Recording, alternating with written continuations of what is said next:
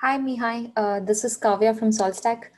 Looks like we might have uh, everyone that we wanted from SaltStack. Uh, so do we want to get started? Yeah, hi, hello. Um, yes, let's start. Um, uh, so I'm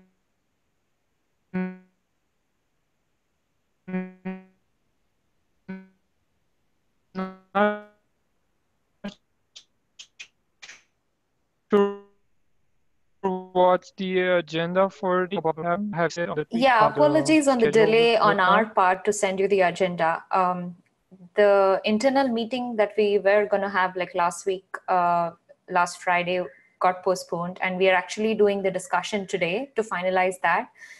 Uh, we, we do have a rough idea but then we want to get uh, internally to, to, discuss that with our vp mo and finalize that.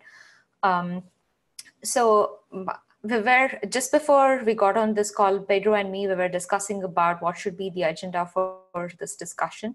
Uh, the only couple of items I have is uh, basically uh, uh just getting the logistics for the next week workshop that Pedro is going to fly out for. Um, and uh, pretty much that's about it, I think, for this call. Uh, do you have any um, other questions apart from the agenda for the workshop?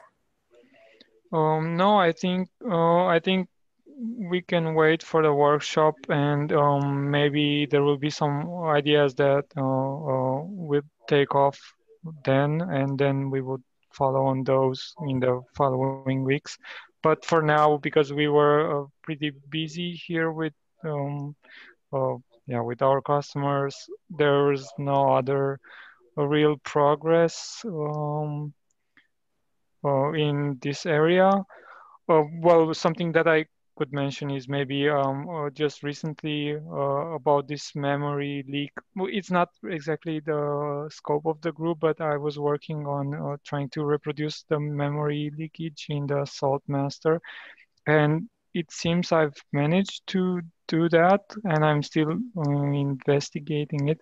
Uh, so I've managed to uh, replicate that just with a master and two minions and running some uh, uh, while loop, making some um, um, requests through the API to run some job on those minions.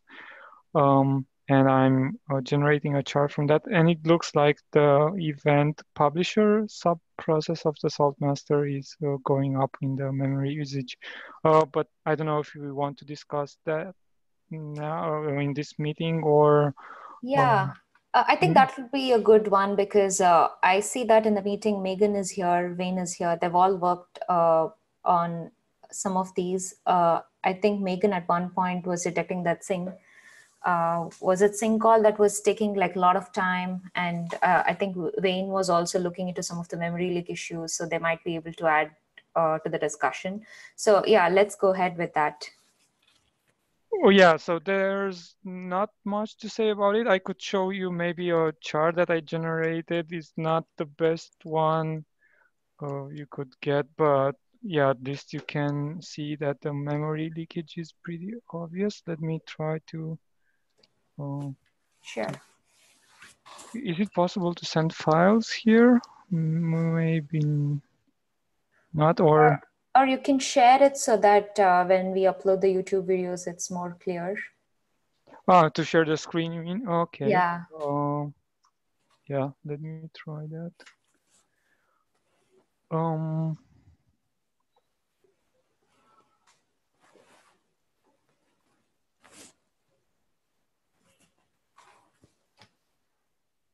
Okay, do you see my screen now? Yes. Okay, so basically here is the, uh, uh, I'm running the some uh, while loop here. Uh, well, it doesn't look like that nice. You don't probably understand what's happening. But here I'm running the while loop and here I'm just watching the um, um, event pass with state event and uh, I'm getting some events here. And here I'm I'm using this mprof tool to generate the um, uh, plots. Uh, uh, so, I, well, I'm, this is like a Python library that you install and then you get this um, well, this uh, tool that you can run. And what I did was to use it to uh, run the salt master with. And then this is generating some uh, data file that then I can use and it generates a chart from that. And then let me send this to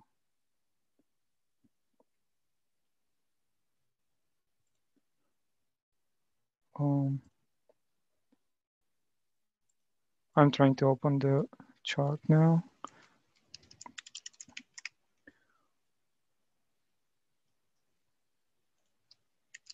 This was not prepared, so yeah, please have patience.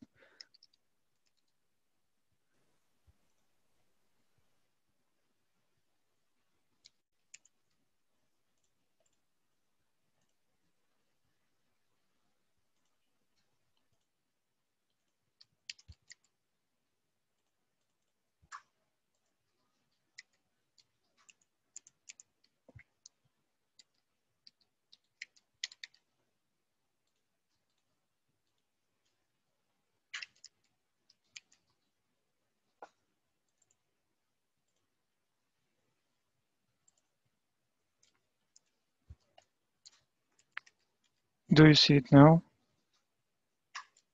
Yes.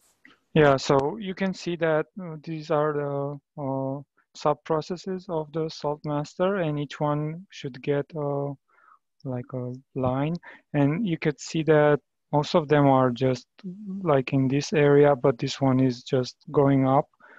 Um, yeah, yeah. we, we can't, yeah, we can't see your cursor, so yeah, Okay. I can see pretty clear garbage collection cycles in some of these other ones uh, where they they generate a bunch of stuff and then looks like everything gets collected. But this uh, this one clearly is uh, yeah, is growing. Uh, So which what did you say was the the sub process or whatever it's it the was?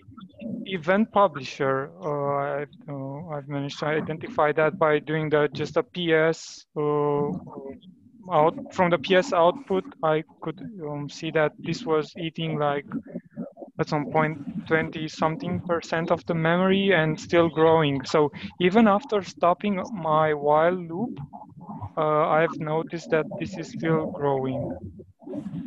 Um, and do we do we know uh, what particular objects that it's it's storing um, that it's got a lot of?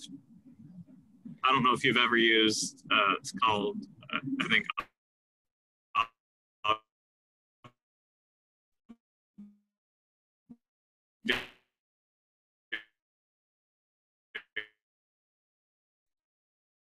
Graph or object graph.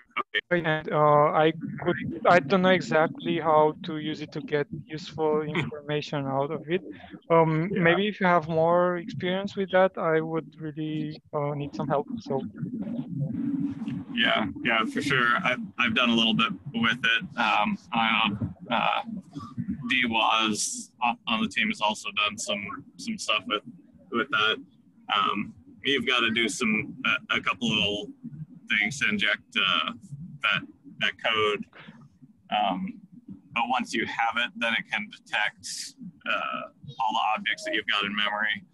I know what one of the places we've seen a lot of um, of growth in our objects is with our log, our salt log records. Um, but So, that, that might just be in the testing. Sorry, Wayne, I didn't understand that. What records? Uh, so it, when you're doing a, when you emit a log record, um, ah, log record. Okay. Yeah, so we've got, we've got the salt log record, and uh, at least within our test suite, and the test framework, um, when that's running, there are times that we've seen just uh, the salt log records uh, increase uh, by a, a tremendous amount. I think like tens of thousands of log records just hanging out, not being consumed and collect garbage collected. So um, we know there's there's some issue there. Um, one of the trickiest things that we out that, that we've seen is with the output of that is um, like you'll say have dictionary, for instance, but uh, that doesn't really tell us much because Salt uses dictionaries like everywhere. so it's not really uh, really easy to see where those dictionaries are being created and which ones are, you know, what types of dictionaries we've got kicking around because it's entirely possible they're innocuous and expected dictionaries. And then, of course, it's also possible that they're dictionaries that we really should be getting rid of, and uh, we just aren't. So, but, but uh, in this case, because you have a very clear um,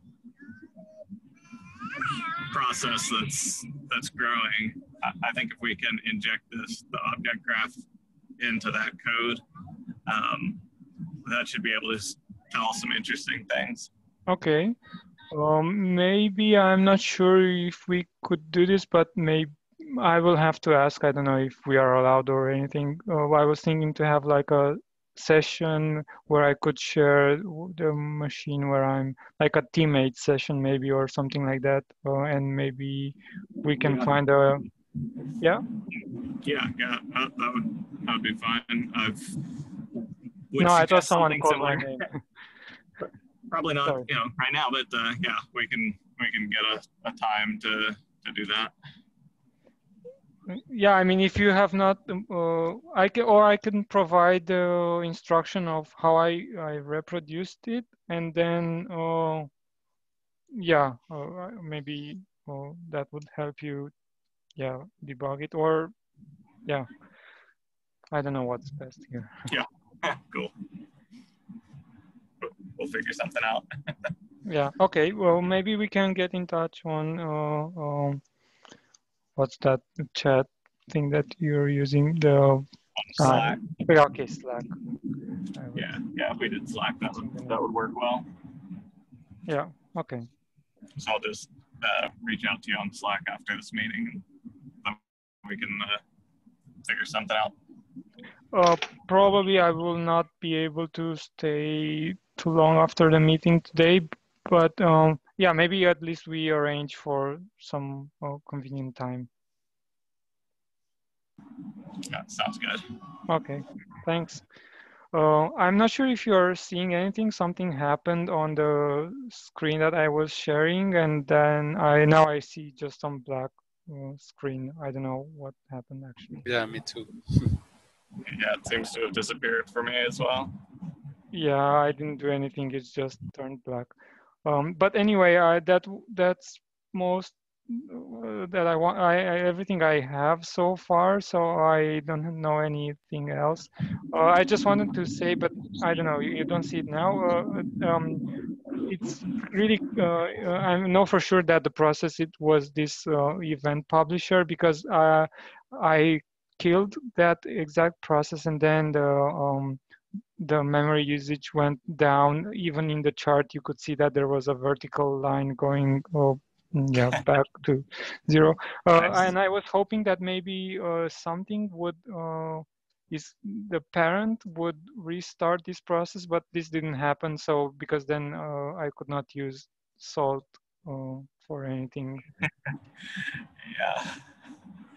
Um, so yeah, maybe we could mm, see how we what's best to do here. I thought that maybe uh, a temporary hack would be to just kill this process and then something would restart it and things would continue to work, but no, it didn't happen. So Yeah, I know one of the things that, uh, at least with with Dwoz, Daniel uh, and I, some of the things that we've looked at kind of in that sphere is um, that there are some places where we're not really um, spawning off the the sub processes in a, a a healthy way. I think. Mhm, Um, okay. and so like, you like you've observed where it dies and then it never comes back uh, or Mhm. if you kill it then it doesn't ever come back yeah, um, you know I, we've we have some ideas and some thoughts about like uh, kind of re-architecting things a little bit to to make it um, one healthier and then two, like in your case, where if you kill it, uh, it should be really reasonably straightforward to, to bring it back up. Um, it Yeah, just yeah. requires, uh, I think, some, some shifting of our architecture. So that's that's definitely something that we have we've come across and we've discussed a little bit, and I'm sure we'll discuss more in the near future as well. Mm-hmm. Yeah, sounds interesting.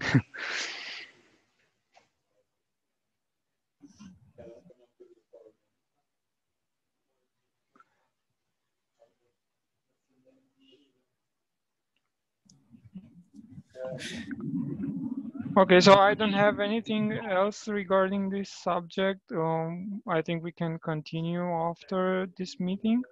Um, and then maybe we can talk about the workshop or uh, do you have any questions on your side?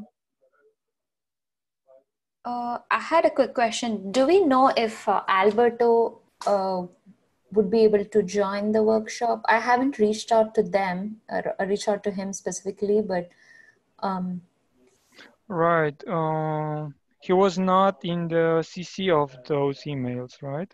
correct. Yeah, I can try to reach out to him. Uh, does he work from the Germany office? I'm not sure. Actually, he's not in our uh, team, but Okay. I think he, I think he is on the Nuremberg office, Mihai. yeah, yeah, okay. Yeah. But then I can maybe try to find him and I can uh, talk to him. It's, there's no need to. Uh, I mean, you can contact him, of course, if you want to make it more official. But I can, to speed it up, I can also go find him and ask him if he can join. Okay, I yeah. can write you back. Okay, uh, I think that makes sense. Um, so, uh, Pedro, did you have any logistical questions about the next week workshop? And thanks for sending the hotel recommendations. Uh, I think Pedro will book his flights and hotel soon. Um, Sure, Uh, no problem. Yeah, for now, no questions. And thank you for the links.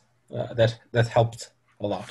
Okay, no problem. But do you know when you will be arriving? Oh, So right now, I'm still planning on arriving on Monday. mm-hmm. I don't know the the time yet. Uh, I will know more uh, either tomorrow or the next day, and then I can uh, reach out to you guys and, and send the details. Yeah, that would be great. Uh, because then maybe someone needs to pick you up from the reception. I'm not sure. Oh, Yeah, uh, I, w- I will contact you guys Mhm. to get that arranged. Thank Yeah. you. no problem. Yeah, looks like that's it from our side to Mihai. Okay. Um, so then um, about the schedule, we will you will send us some details right later, right? Yep, the Okay. agenda. Yeah. Okay. Yeah. Okay, makes sense. Um, I don't have anything else. Well, if someone else wants to add something, feel free to speak. Um, it's probably of, of interest to this group, um, but I can just share a, a status update that I um, pretty much what I shared with our networking uh, working group as well. So one of the things I've been um, focused on is um, looking into this this memory leak issue. One of the things that we had observed um, starting a few weeks ago is that uh, our tests with Jenkins and Kitchen, uh, they were running into an SSH timeout. Um, and the when we jumped on the box and just ran top and watched the processes, uh, you know, our memory filled up, the swap filled up, and as soon as it hit 100% everything, then the box just became unresponsive. We didn't see any uh, um, we couldn't get any network traffic uh, into the box. So we added um, some monitoring with uh, with Logstash, um, or I guess the the new things they've got are the, the there's a file beats and a metrics beat and a journal beat that pulls information off the box. And we we added those to our um, our test instances in AWS and what we we saw is that even outbound traffic was disappearing as well. So the um, that was failing. So we I started looking into that a little bit and um, added some um, some monitoring to dump the the memory usage before we uh, called os.fork. The theory was that that's where we were um, we were dying, but um, we we never ended out um, using more than like 20 or 30 uh, megabytes, I think, of of memory um, pre falling fork. So that doesn't did not appear to be the the case. Um, but we're, we're still seeing the uh, the network just disappear. So I've started trying to work from the network side um, to just monitor that and see what's going on. And uh, I was actually seeing the a certain one of our images fail reliably, but then when I started looking into the network, um, I stopped seeing the failure. so okay, that's kind of where I'm where I'm at right now is looking into these network the network issue to see if I can identify is there something with IP tables or is there something else on, that we do within the tests on the box that ends out just breaking our network connectivity. Um,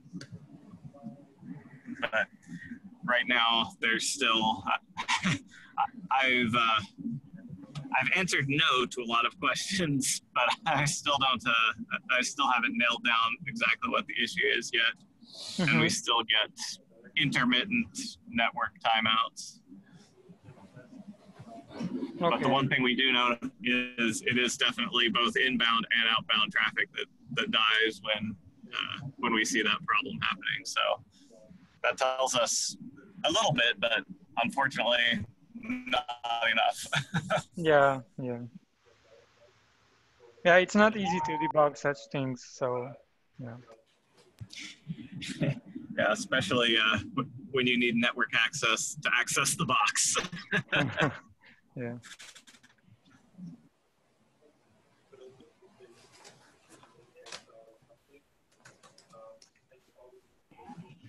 That's that's it for me as far as uh, testing goes. Okay, thanks for sharing that. Um, if there's nothing else, um, I also don't have anything else, so we could uh, end the meeting. Okay, sounds good. Okay, I'm looking forward to meet you, Pedro, next week. Um, yeah, me too. Yeah, and um, yeah, have a nice day then.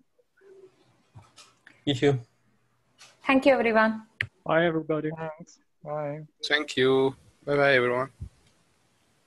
Bye.